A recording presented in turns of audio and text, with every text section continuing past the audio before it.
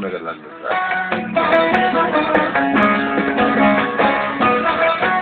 Evet, şu an e, Dursak ailesinin evindeyiz. Hemen yanında Fazile Dursak teyzemiz var.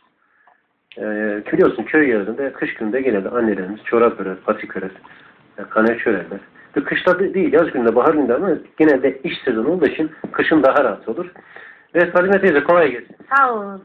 Annem şimdi ne örüyorsun sen? Sonra veriyorum. Kaç millidir, nasıl örersin, kaç günde örersin? Beş milyon veriyorum. Hı, beş milyon. Ne zaman başladın bunu? Dün başladım. Hı. Maşallah epey yol kat ettin. Hı, doğum bitireceğim. Ördün biter. Hı, doğum bitir. Kıza örüyor. Kız arıyorum. Teyze mi koyuyor? Ceviz öğreteceğim. İnşallah. Başka neler örüyorsunuz anne? Nasıl öğreriz? Boncuk öğreriz. Boncuk, pat. Çay örtüsü öğreriz. Çorap öğreriz. Hepsinden öğreriz. Istar dokuruz. Sarıda dokur. Dokuruz. Hepsini deriz. Ya dokumacılıkta var. Halı mı? Se- Halı seccade mi? Ha, halı dokuruz. Tamam ne kadar güzel. Annem şu ne pekala şu? Bu tozluk. Hı. Kaç günde örüyor? Bir günde bitir. Modelini nasıl alıyorsun? modelini bir hadi al, şey, toz alacağız ondan alırım. Ondan sonra ona bir günde birini örerim. Maşallah teyzem zehir gibi kafa var ellerde. Örerim. Hı. Bunların hepsini sen mi ördün anne?